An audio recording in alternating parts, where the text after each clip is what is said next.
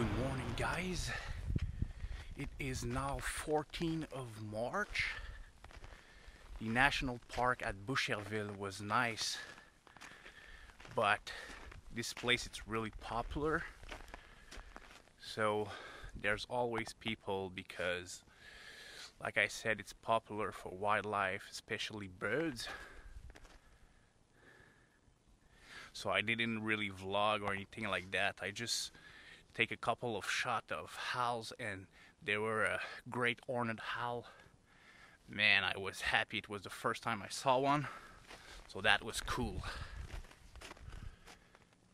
And today I am back to the spot where I saw for the first time the great gray owl of my previous video. If you didn't see this video, you should check it out after this one because man, this bird is absolutely amazing. So I am back this morning. I hope to see it again. So let's try to find it. Look at that spot. This is perfect for owl. If you want to find owls, this is the kind of spot you need to search for. Wide open spaces, pine trees. This is where they're almost all the time sleeping during the day.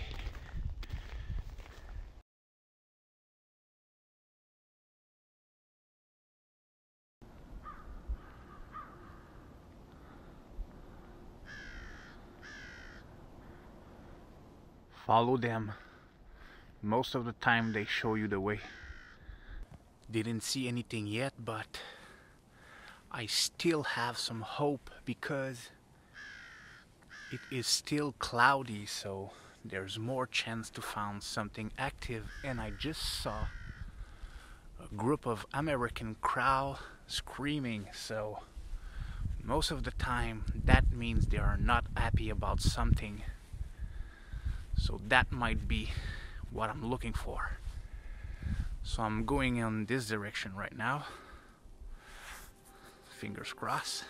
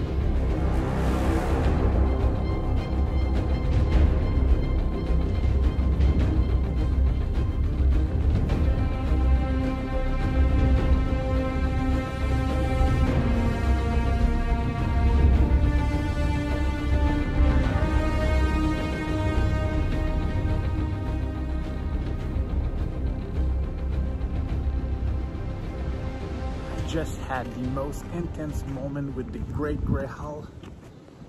Oh man, I'm literally, I'm literally shaking right now. That was awesome. But man, I think I I missed the best shot when she jumps to try to catch something. Oh. But I'm pretty sure I got some pretty awesome footage, so I'm going back to the gym